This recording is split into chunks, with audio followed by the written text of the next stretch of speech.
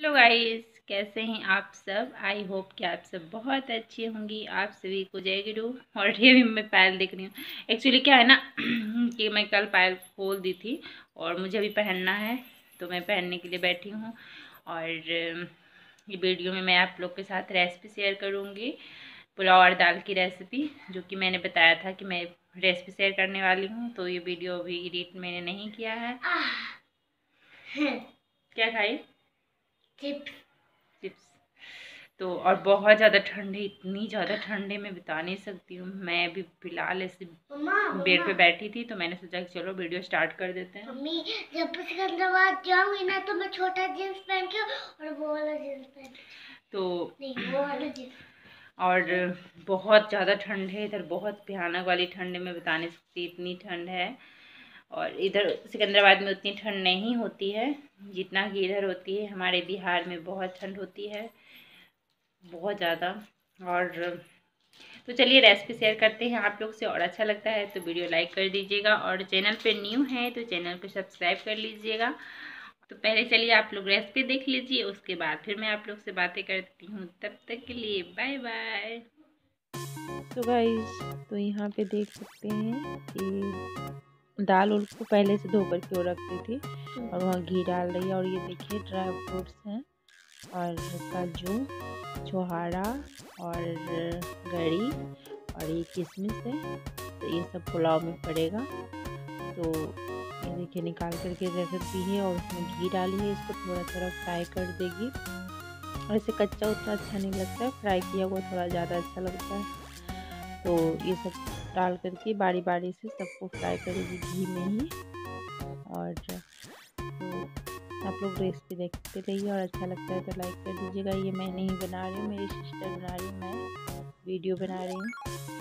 Camera man बनी हुई हूँ तो गड़ी फ्राई कर ली है। और अब इसमें देगी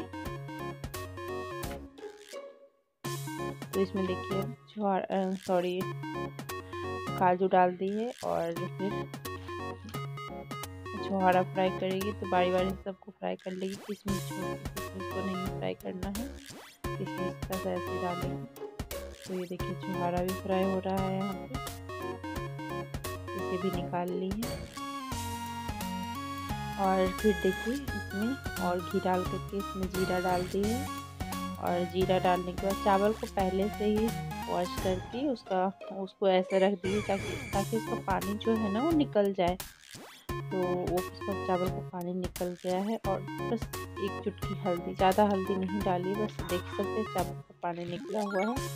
और ये देखिए, इसमें चावल डाल दी है और इसमें बस सिर्फ़ सिर्फ़ इसमें चीनी डलाएगा, और कुछ भी नहीं। तो इसको बस अच्छे से मिला देंगे, क्योंकि चीनी वाला मुझे बहुत ज़्यादा अच्छा लगता है।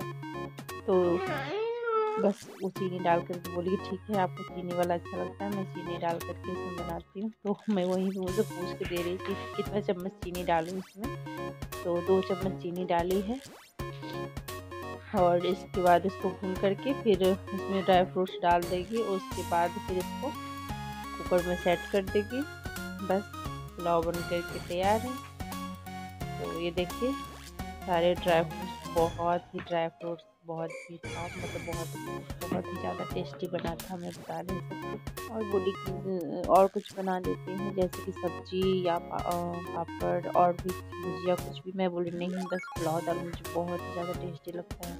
मैंने मना कर दिया, लेकिन सब लोग ढूंढ रहे थे कि और कुछ नहीं बना है। और इसमें देखिए फिर, इसमें तेल डाली है और उसको बस कुकर में सेट कर दी और ये दाल फ्राई करने के लिए तेल डाली है और जीरा, तेज पत्ता मिर्च ये सब डाल दी है। दाल बना हुआ चना का दाल। उसमें बस उबाल दी है, हल्दी नमक डाल करके। उसमें और कुछ नहीं पड़ा था।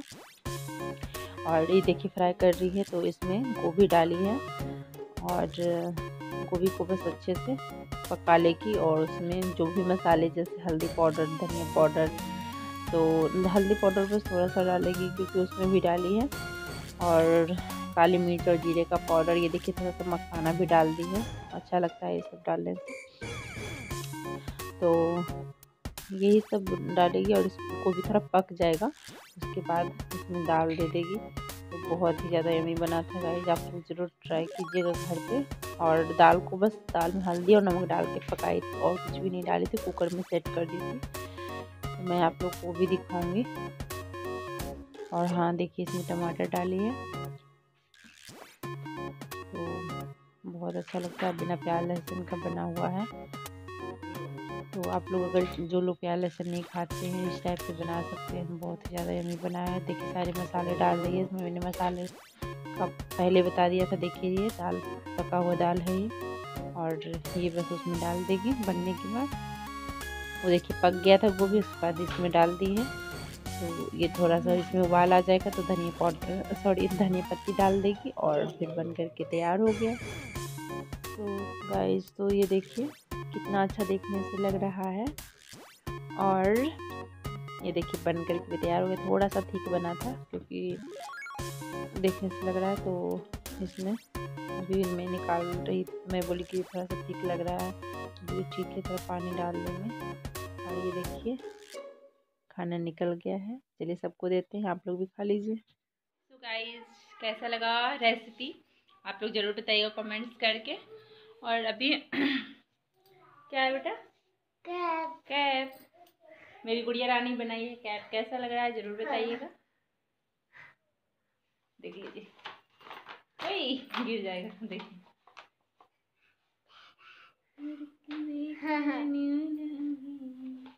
हैप्पी बर्थडे टू यू किसका हैप्पी बर्थडे है? मॉम की। Mamma mamma mamma. मम्मी हम्म।